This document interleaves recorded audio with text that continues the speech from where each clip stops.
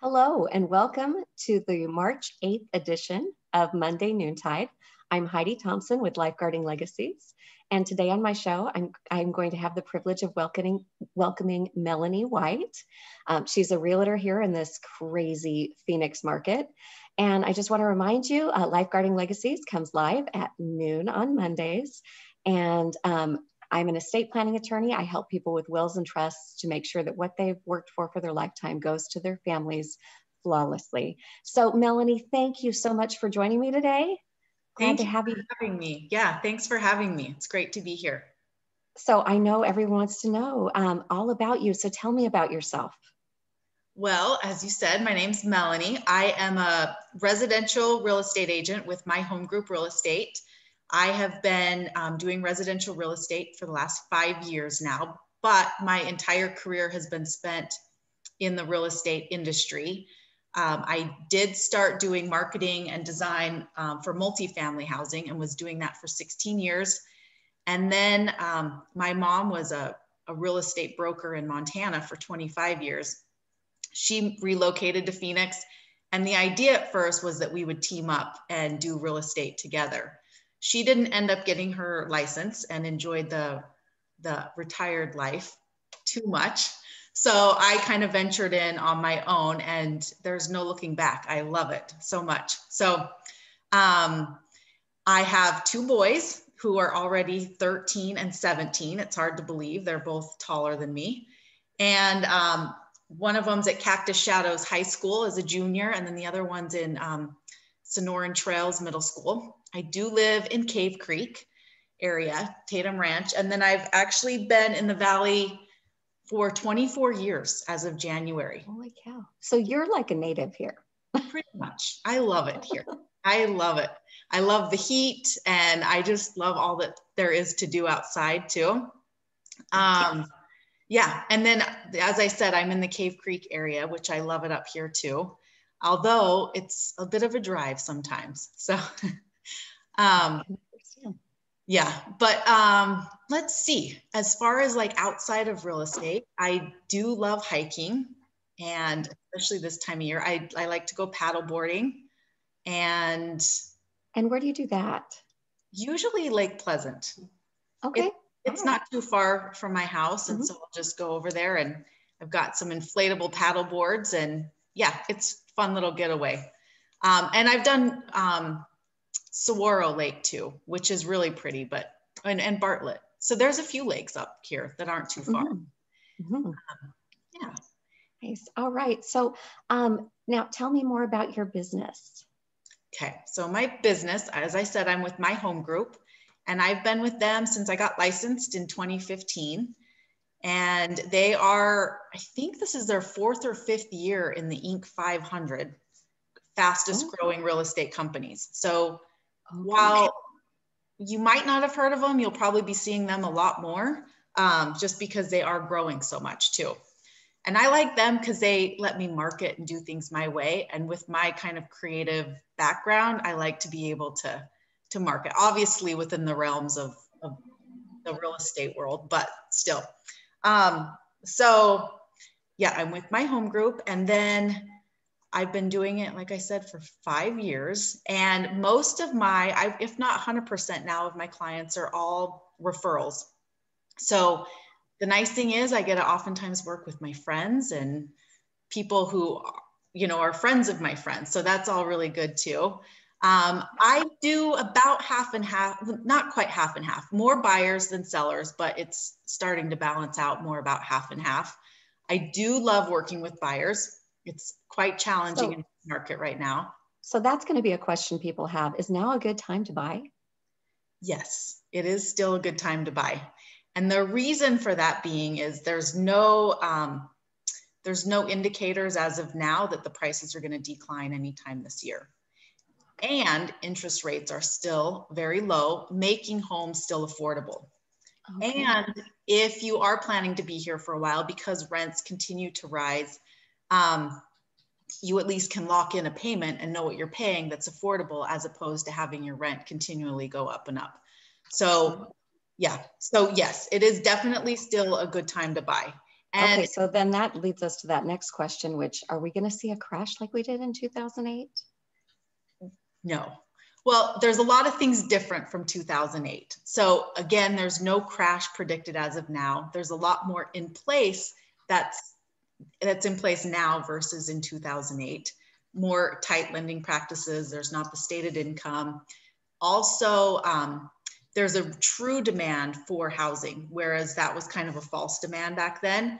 Um, plus, well, okay, and the reason why there's a true demand is Phoenix is becoming a big inbound state of people moving here. And the population has grown more than new builds and new construction. So because of that, there is actually that demand for housing here. And um, people actually have equity in their homes. So whereas before there was a lot of foreclosures because the there wasn't true equity within their homes. Now if they want to good, yeah. Sure.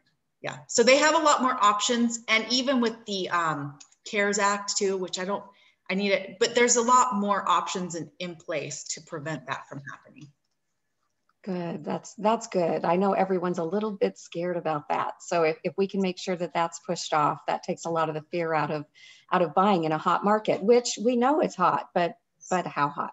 Well, and again, it's it's because you can lock in your price because interest rates are low and you're locking in that monthly payment over the long term 30 year fixed versus like a lot of them were interest only loans and then went um, variable. So you're locking in that payment. That's really what you're doing.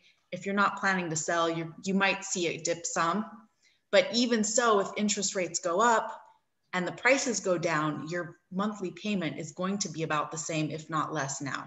So it's still predicted to continue going up this year.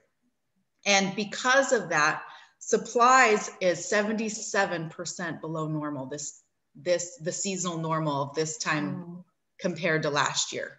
And demand is 19% above normal.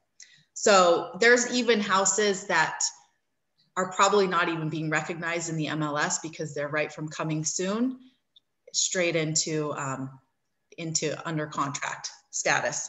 So um, yeah, and then the median house or median days on market is only six days. So things are going really, really fast. Yeah.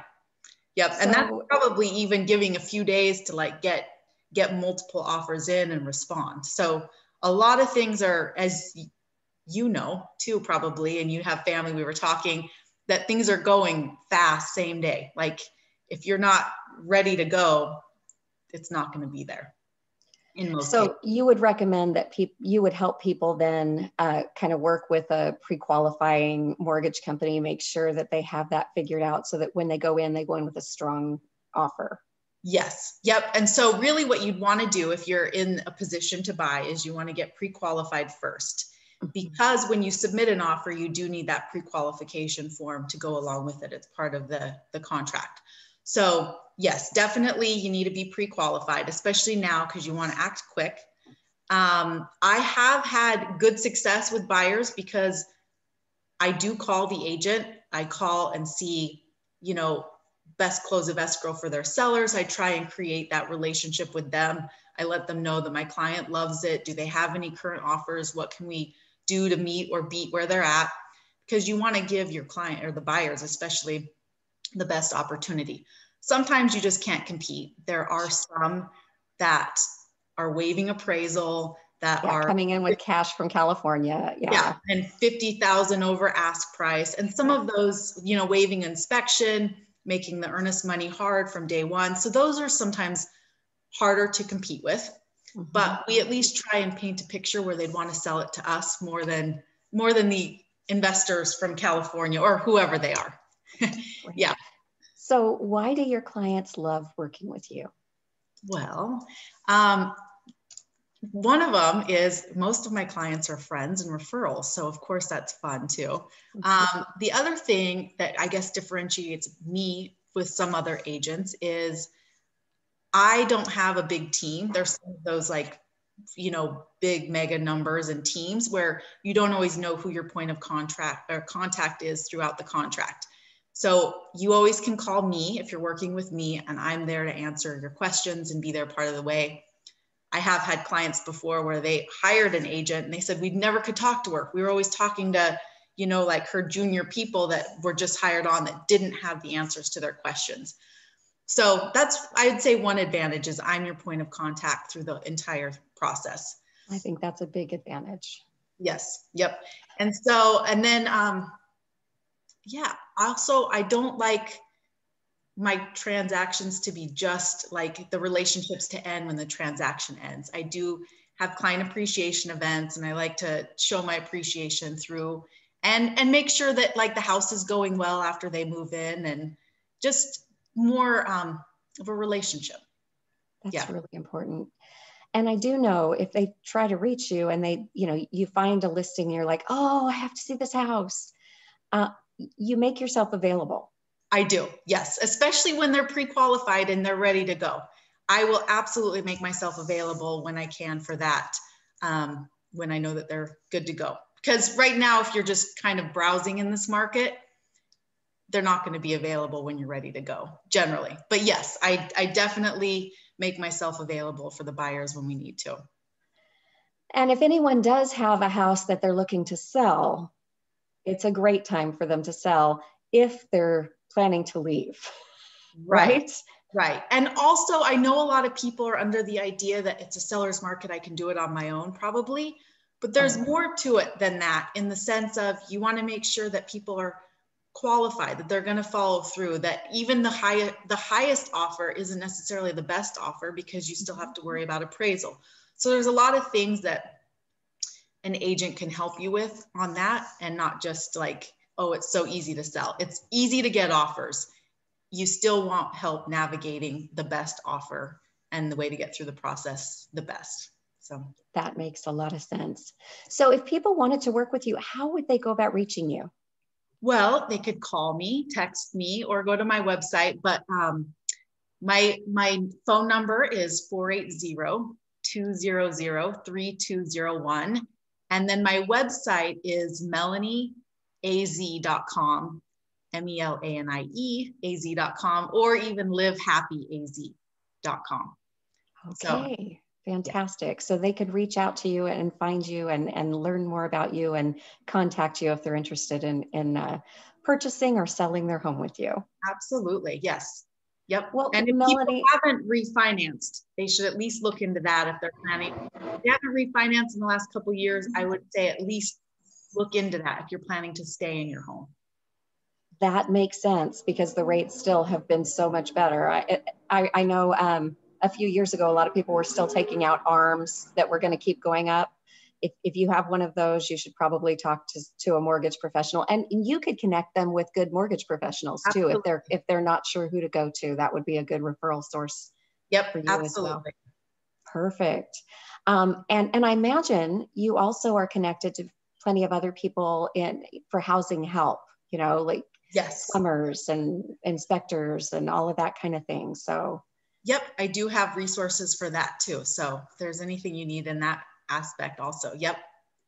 Great. Well, thank you, Melanie. Thank you for being such a nice, such a kind friend. And, and I'm so glad to have met you. And I personally have had the chance to work with Melanie on, on a home purchase uh, that my daughter, son-in-law, and grandkids now live in. And it was just, she made the, it, it, was a scary process in this market, but she made it very easy. And, and I just so appreciate her and her thoughtfulness and her talking me off a ledge when things got scary. She was really, truly professional and awesome. And I'm, I'm so grateful for her. So um, Melanie, that's, that's it. We, yeah, uh, that time I told you it goes so fast. It does go fast. Thank you. I appreciate being on and it's been great working with you and getting to know you and your family more better too.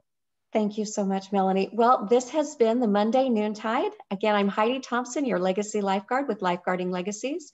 And if you are looking to put together a will or trust and that's still something you need to check off your procrastination list, please reach out. You can find me at www.lifeguardinglegacies.com or at 602 529 1827. And if you're looking for a home or if you're looking to sell your home, I'd love it if you'd reach out to my friend Melanie White, and her information will be listed on the post. Thanks for tuning in today, and I will see you next week. Thanks. Bye.